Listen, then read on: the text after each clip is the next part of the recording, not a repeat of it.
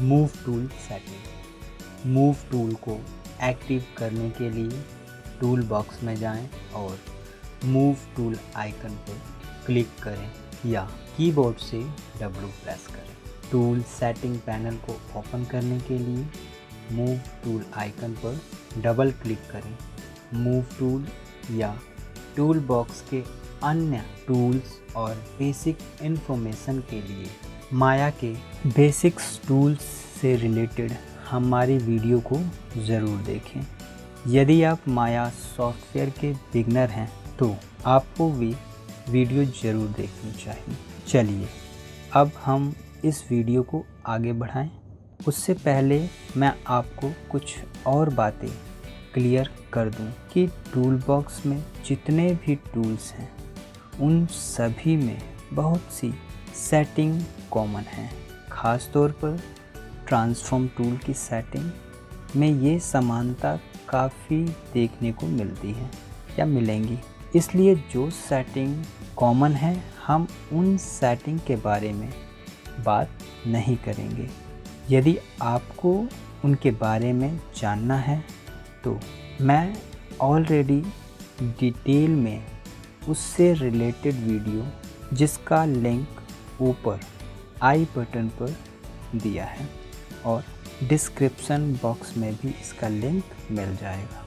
ये जो विंडो आपके सामने दिखाई या दिख रही है, यह मूव टूल सेटिंग की विंडो है। टूल सेटिंग के नीचे मूव टूल की राइट साइड में रीसेट टूल और टूल हेल्प का बटन दिया है। रीसेट के बारे में आप अच्छी तरह से जानते होंगे कि इस पर क्लिक करते ही आपके द्वारा टूल सेटिंग में जो भी चेंजेस किए गए हैं, वह वैल्यू या सेटिंग चेंज होकर डिफ़ॉल्ट वैल्यू या सेटिंग हो जाएगी। Tool help. टूल हेल्प पर क्लिक करके आपको टूल से रिलेटेड हेल्प मिल जाएँगी। लेकिन इसको यूज़ करने के लिए आपको नेट की ज़रूरत होगी। यह लिंक आपको ऑटोडेस्क के ऑफिशियल साइट पर ले जाएगी। मूव सेटिंग्स मूव सेटिंग्स में लगभग सभी की सभी सेटिंग ऐसी हैं जो रोटेट और स्केल टूल सेटिंग्स में देखने को मिलेंगी। इस टॉपिक को रोटेट टूल सेटिंग्स में बहुत डिटेल में बताया गया है। इसलिए इस पार्ट को स्किप कर देते हैं।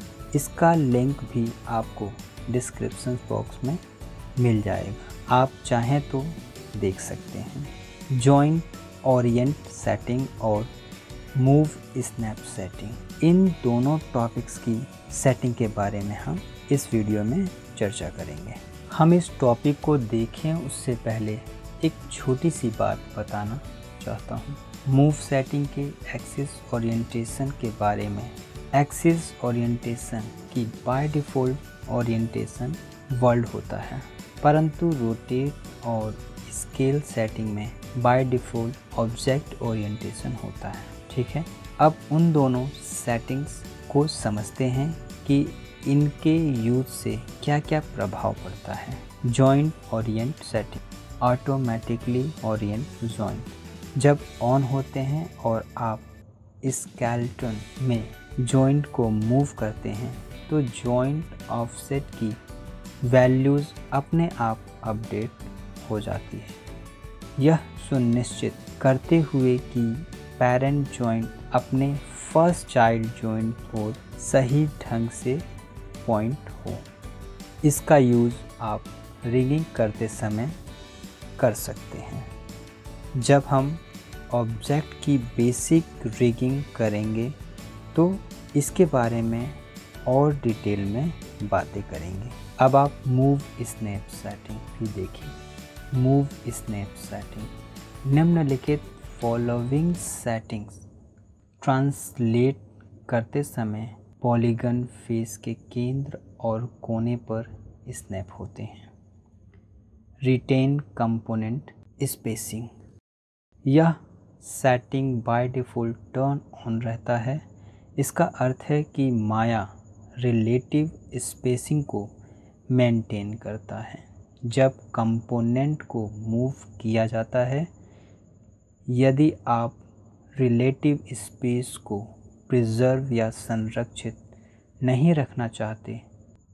तब आप पॉलीगन कंपोनेंट को ट्रांसलेट और स्नैप करते हुए तो आप इस ऑप्शन को टर्न ऑफ़ कर सकते हैं। Snap to live polygon. यहाँ आपको दो ऑप्शन मिलते हैं, फेस सेंटर और वर्टेक्स। ये सेटिंग आपको एक लाइव पॉलीगन के कंपोनेंट जैसे फेस सेंटर और वर्टेक्स पर ले जाने और स्नैप करने देती है।